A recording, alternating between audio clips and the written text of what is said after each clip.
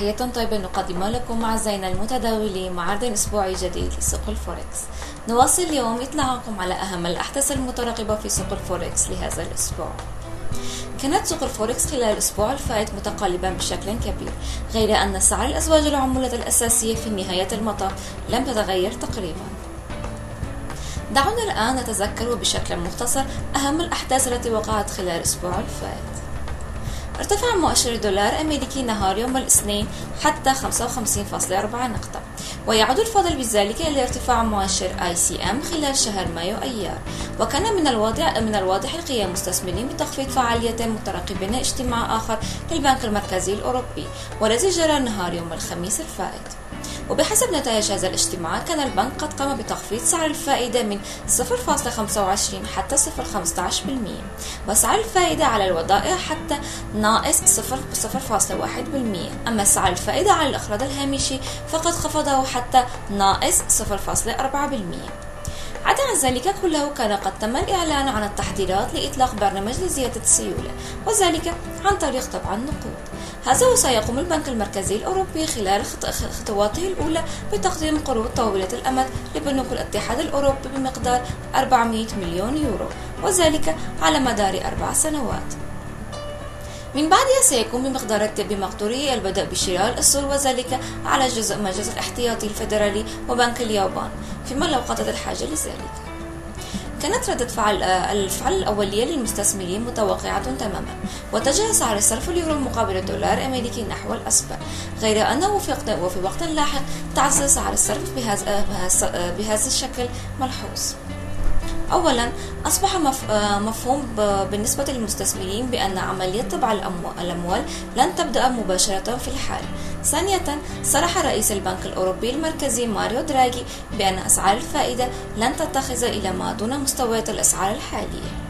في الوقت ذاته يتوقع أن أنه مستوى التضخم خلال هذا العام سيساوي 0.7% أما في العام المقبل فإنه سيبلغ 1.1% في حين أنه سيبلغ 1.4% في عام 2016 ومن الواضح بأن هذا هذا التنبؤ أضعف بكثير من مستوى الهدف السابق الذي تواجد على مستوى 2.5% وهذا بالرغم من أن ارتفاع أسعار المستهلكين يتواجد يتواجد وللشهر الثمن على التوالي على مستوى أدنى من 1% لقد كانت هذه المعلومات بالنسبة للمشتركين في السوق إشارة تأكيد إضافية إلى أن أسعار الفائدة قد بلغت أدنى حد لها. نحن نرى بأن البنك يجري وبشكل هادف سياسة إضعاف سعر الصرف اليورو على الأغلب. سيتمكن البنك من التحقيق ما أرى به هذا. نظريا يبدو أن الترند الهابط هو الترند المفضل. صدرت يوم الجمعة بيانات اقتصادية إيجابية في أمريكا وكانت قد أدت بهذه البيانات إلى تعزز الدولار الأمريكي وانخفاض سعر الصرف العملة الأوروبية الموحد هذا ولقد تطابقت كمية الوظائف خارج القطاع الزراعي في شهر مايو أيار من قيمة التي كانت قد جرت توقع لها والتي ساوت 217 ألف وظيفة. بهذا الشكل نرى بأن مؤشر هذا يزيد عن مستوى 200 ألف وظيفة للشهر الرابع على التوالي وذلك للمرة الأولى منذ شهر يناير كون الثاني لعام 2000 من المحتمل أن يؤدي تحسن الوضع في سوق العمل إلى ارتفاع احتمال أن يجري رفع الأسعار الفائدة من قبل المجلس الاحتياطي الفيدرالي. أما فيما يتعلق بهذا الأسبوع فستصدر يوم الخميس أكثر البيانات أهمية في أمريكا وستكون هذه البيانات هي التالية. البطالة عن العمل عن الأسبوع مبيعات التجزئة أسعار الاستيراد والتصدير وأخيرا مخزونات الإنتاج. أما في يوم الجمعة فسيجري إعلان عن مؤشر أسعار المنتجين ومؤشر أمزجة المستهلكين والصادر عن مهات مشيغان نحن نرى بأن معظم التكهنات الأولية ستكون إيجابية بالنسبة للدولار الأمريكي.